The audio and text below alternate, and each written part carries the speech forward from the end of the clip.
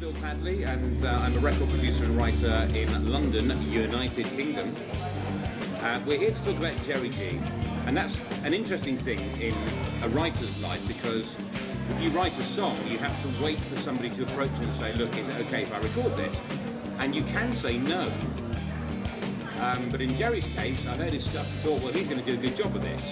And I was wrong. No, actually I was right. He did a great job of it. And uh, Jerry's Turning to You is now uh, released and working its way around Holland, and he's done a great job. And uh, the question is, why isn't this man a big star already? Jerry G here in the in the UK, you're saying who's selling his stuff. I mean, this you must have this album. Jerry G. Can't believe she's gone.